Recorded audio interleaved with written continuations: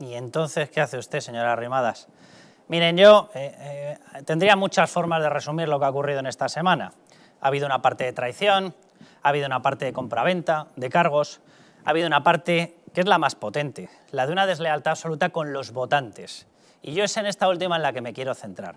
A mí lo que hagan los políticos, pues bueno, hay veces que te da una cierta vergüenza, hay veces que te llega a dar asco, hay veces que te da miedo y hay algunas veces que te hace sentir hasta orgullo. De algunas personas me hace sentir hasta orgullo. Son pocas, pero bueno, bendito sea que de vez en cuando se puede llegar a sentir eso.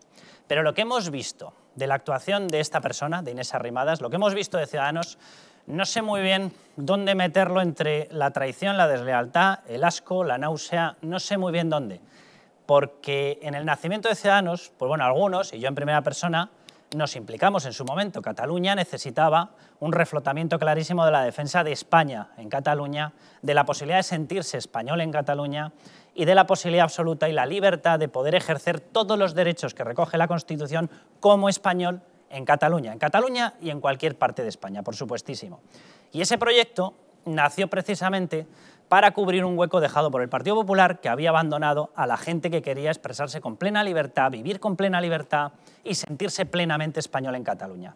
Aquel proyecto nació con Albert Rivera. Bueno, con Albert Rivera y otros tantos, frases de carreras, etc. Bueno, de aquel proyecto, el primero que lo fue devaluando fue Albert Rivera y el primero que además fue endiosándose y el primero que fue alejándose de mucha gente. Bueno, él se siente una especie de vedete, oye, y puestos en esta barraca acabó haciendo bastantes cosas que se convirtieron en errores graves. Pero por lo menos, por lo menos, mantenía una cierta sintonía con algunos de los principios. Con algunos, con otros muchos no, ¿eh? Pero bueno, y después llegó Inés Arrimadas. Lo que hemos visto en la última etapa no tiene nombre.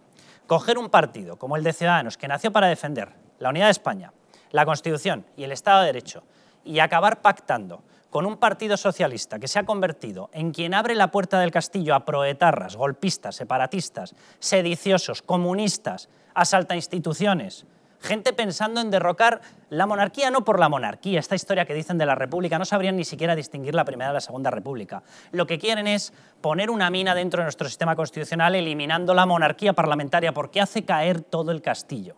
Por eso, por eso, por eso, señora Rimadas, usted no puede pactar con el Partido Socialista. Por eso, cuando usted decía estas palabras que acabamos de escuchar, tenía razón.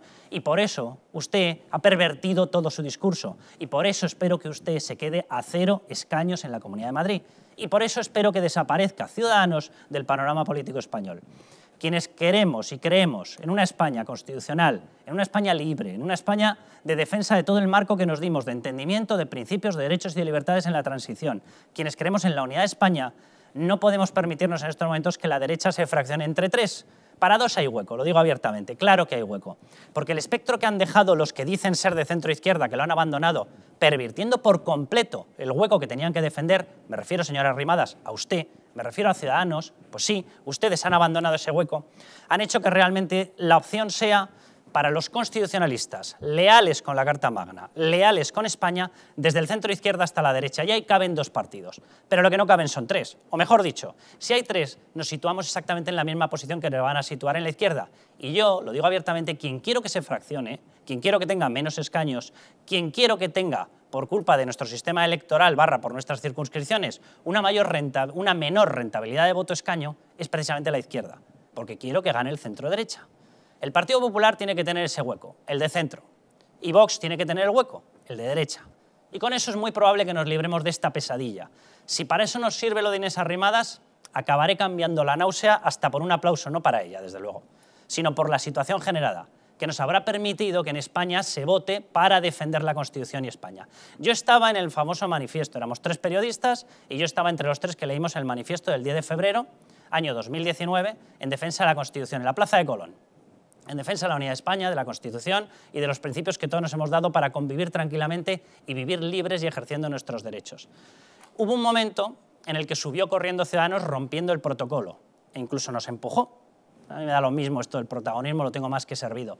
Pero quien rompió el protocolo para anotarse aquella medalla eran los, perdón por la expresión, naranjitos, ¿vale? Los de Inés Arrimadas. Subieron corriendo y hasta nos empujaron. Al ver eh, Castelló, a María Claver y a mí. Bueno, quedamos en un segundo plano. ¿A mí qué más me da? Esos mismos que subieron ahí precisamente para defender esos principios, resulta que ahora son los que lo pisotean entregándose al Partido Socialista. Es muy triste, señora Rimadas, es muy triste. Y simplemente por intentar salvaguardar su sueldo, su posición, no sé el qué. De verdad no sé qué es lo que puede tener valor como para hacer lo que han hecho. Pero bueno, la realidad yo creo que va a poner a cada uno en su sitio. Y la realidad yo creo que va a hacer que usted y su partido desaparezcan del panorama político. Y es lo mejor que nos puede ocurrir. Porque así, a lo mejor, fruto de sus errores y de sus deslealtades y de sus traiciones, recuperamos España para una gobernabilidad normal. Empezamos.